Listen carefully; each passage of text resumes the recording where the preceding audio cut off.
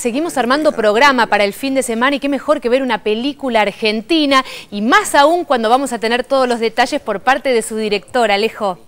Y qué mejor cuando ves una película argentina sensible, emotiva, creíble, con una historia que le puede pasar a cualquiera. Hablamos de Por un tiempo, película estrenada ayer y que marca el debut. Sí, debuta todavía. Gustavo Garzón en este caso como director. ¿Qué tal Gustavo? Muy buenos días. Buen día, buen día. Contale un poco a la gente de qué se trata la peli. Yo le conté ayer, pero a los que nos vieron, de qué se trata la película y cómo surgió en vos contar esta historia, escribir esta historia, porque además la escribiste vos. Sí.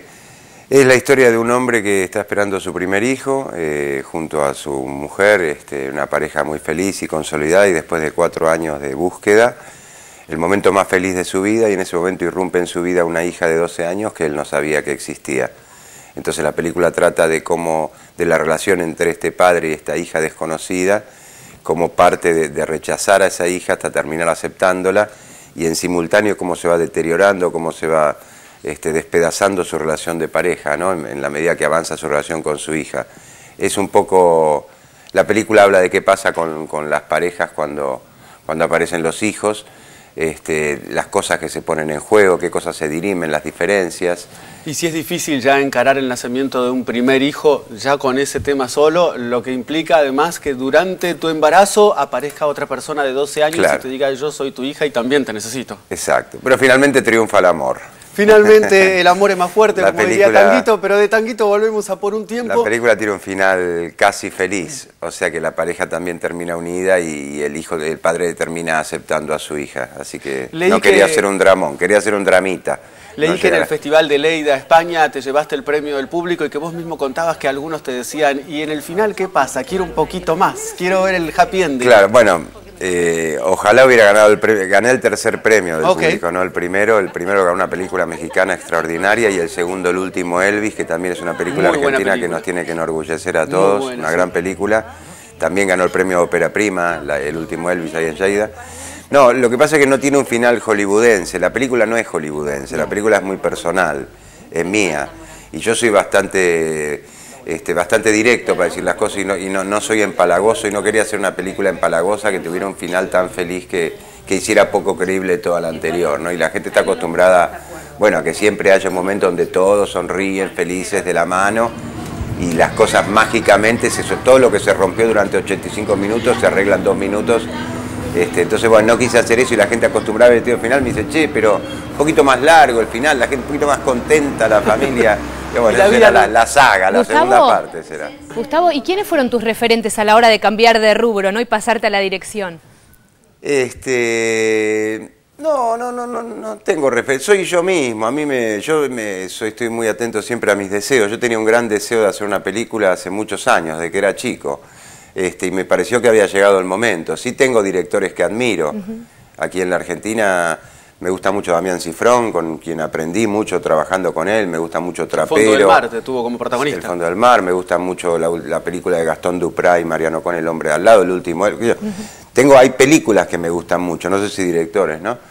Pero más que nada eso de escuchar mi deseo y trabajar muy duro trabajar muy, muy duro. Recién dijiste, la película es mía, es una historia mía. ¿Y cómo fue sentarte a escribirla antes? ¿Y qué te disparó esta historia y no cualquier otra, digamos? ¿Cómo caíste en, esta, en este triángulo que se forma entre el matrimonio joven y la hija que acaba de aparecer en sus vidas?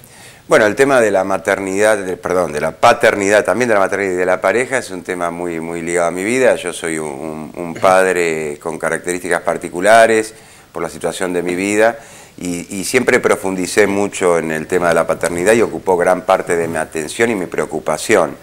Y también siento que en un momento de mi vida aprendí algo como padre, que fue la etapa de la preadolescencia de mi hija Tamara.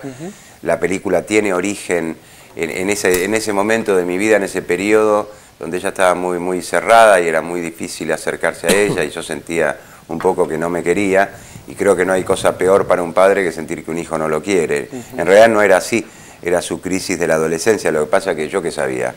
Este, después te enterás de todo. No nos dan manuales para entenderlo. No hay manual, entonces yo la veía así, que no hablaba, triste. Y le contamos a la gente que Tamara también tiene su participación en la Tamara está en la película, sí. Y hablando de Tamara y su participación, ¿cómo fue, ahora que estabas del otro lado de la cámara y que la responsabilidad caía en vos, el elegir quiénes iban a estar al frente de la cámara? ¿Quiénes iban a ser los protagonistas de esta historia? Este Bueno, eso fue lo último que hice. En realidad eh, yo no, no, escribí el guion pensando en actores, sino que cuando terminé el guion y me dispuse a dirigir la película, dije a ver quién va a hacer esto, ¿no? Eh, y ahí encontré en Esteban Lamote el actor ideal.